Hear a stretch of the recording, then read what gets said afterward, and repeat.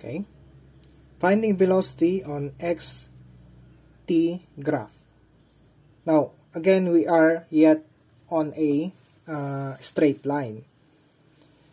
Straight line meaning uh, this is the particle or the car and it goes there. Okay, in straight line. It doesn't uh, go to the left or right, just straight line. Now this is the graph. The graph tells you where's the location with respect to time. Okay, so this one, this is the graph. Okay, so that's not the fat or the the direct on I mean the yung pag-move ng ng car or the particle. The movement's just straight line. So don't be mistaken. This is not the the path of the car. So this is just a graph. Now again as discussed you can get the average speed here okay from P1 to P2 okay this is the line. That line is the average. Actually that is the slope. The average is the slope. The average velocity is the slope. Y, uh, what is slope again? That is rise over run or delta y over delta x, right? But in this case, uh, that is del this is the our general equation for slope. Now for the velocity, okay, so don't be confused. Let's erase this one. Rise over run. The velocity is delta x. Again, don't be mistaken here because that is our delta x over delta t.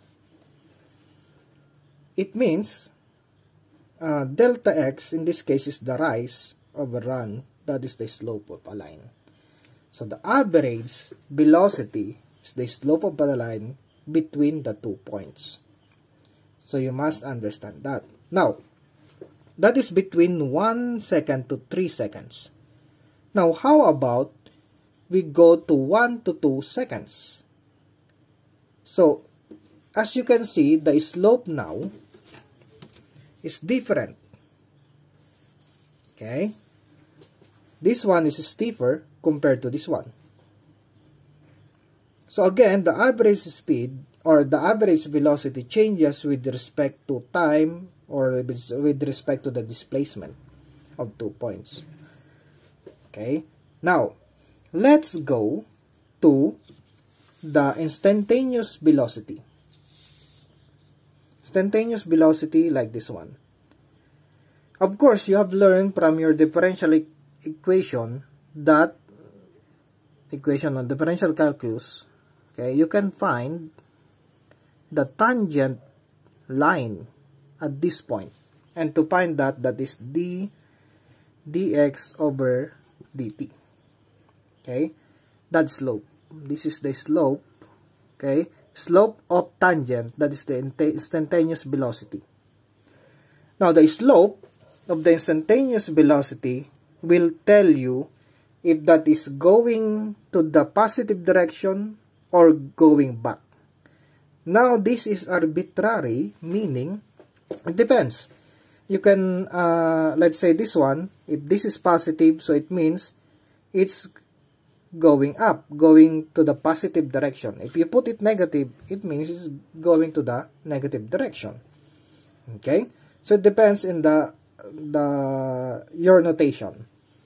But in this case, why did I say it's going to that direction? Because the slope is, let's say, positive okay as seen in this figure so from point 1 to point 2 it's going going up okay? Now let's see this graph so that I could explain thoroughly what they mean uh, what does it mean that the slope? If it's negative it's zero it's positive anong ibig sabihin nun? This is the graph. Okay? So again, it doesn't mean that you have to begin with zero distance.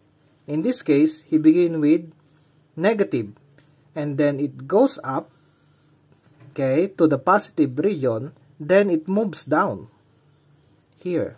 So that's the movement of the particle. Again, it's just straight. This graph shows you the direction or the displacement with respect to time. Now at point A, the slope, it's positive.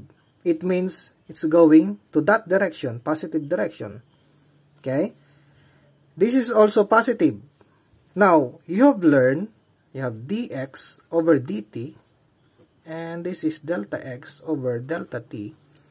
If you have a big slope, it means this is big or this is small. If this is big, meaning there's a abrupt change of displacement. It means the instantaneous velocity is uh, malaki, it's big. Okay? Now, at point C, it it stopped abruptly or I mean it stopped at this instant. Okay, kasi lumiko. You, you have to stop. And the slope is horizontal. It the slope is zero is horizontal. Okay, it means your instantaneous velocity here is zero. Okay? At D, the direction changes, but again, it doesn't mean uh, it's just a direction. Okay? Doesn't mean is slower compared to this one. Actually, this is bigger. Okay? Then, here, it means it's slowing down.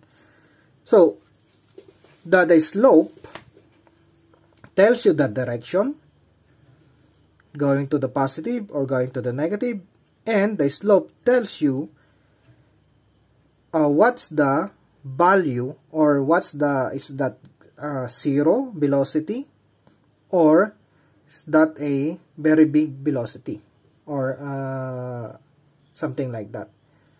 So you have to be familiar with this uh, graph. Okay.